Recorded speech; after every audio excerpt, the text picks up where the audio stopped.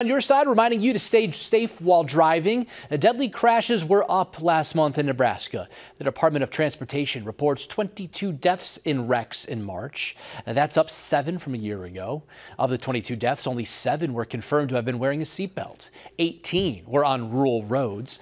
Through March, a total of 55 people have died on Nebraska roads this year. That is up 14 from the exact same time period just one year ago.